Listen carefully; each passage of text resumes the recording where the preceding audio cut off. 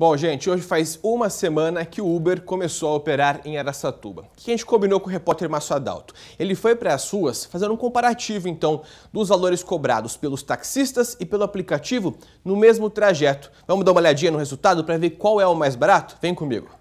Lauriana conheceu o Uber em viagens que fez para São Paulo. A chegada do serviço em Araçatuba agradou a universitária, que já fez duas viagens na cidade usando o aplicativo. Os dois motoristas diferentes que eu peguei foram muito simpáticos, muito atenciosos e sem contar um conforto, né? Está é, aprovado. A multinacional que desenvolveu o aplicativo Uber é cheia de segredos. A empresa não revela dados como o número de motoristas cadastrados na cidade e nem a quantidade de corridas feitas até agora. Porém, quando a gente abre o aplicativo, verifica que há entre 5 e 10 veículos disponíveis. À noite, o número cai pela metade, mas o serviço funciona 24 horas. Para os passageiros, o diferencial entre Uber e táxi é mesmo o preço da corrida. Por isso, decidimos fazer o teste. Escolhemos o percurso entre a Santa Casa e a Prefeitura de Araçatuba. Primeiro fomos de táxi. O valor final da viagem foi de 15 reais. Voltamos à Santa Casa e refizemos o mesmo trajeto, dessa vez usando o Uber. O valor final foi de R$ 9,75, uma diferença de R$ 5,25. Mesmo com a diferença nos preços, os taxistas dizem que o número de passageiros não diminuiu. Enquanto uns defendem a livre concorrência, outros reclamam de impostos e taxas pagos por eles mas que não são cobrados dos motoristas do Uber. Nós pagamos prefeitura e metro, temos as regras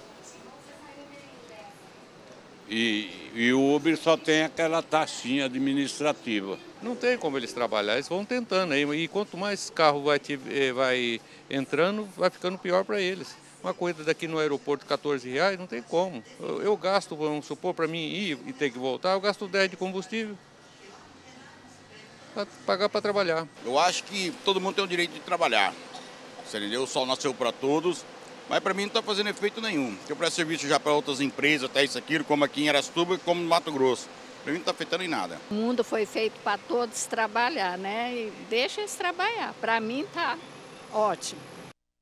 É aquela informação que a gente sempre fala, né, pessoal? Tem mercado para todo mundo, tem a opção, são públicos diferentes, né? Não necessariamente quem vai consumir ali, quem vai usar o serviço do táxi é o mesmo que utiliza o do Uber.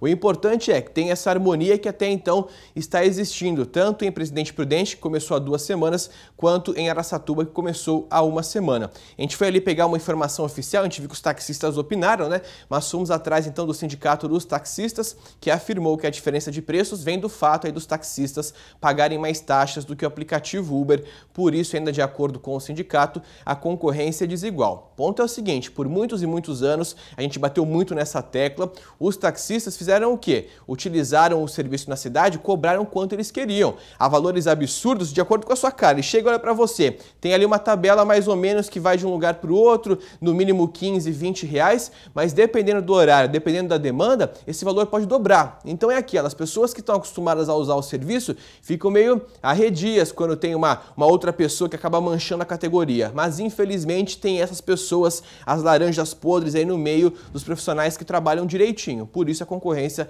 acaba sendo importante aí não só para essa categoria. E tem um outro ponto importante, né? São sinais do avanço da tecnologia. A tecnologia está mudando a prestação de muitos serviços e o táxi é um deles.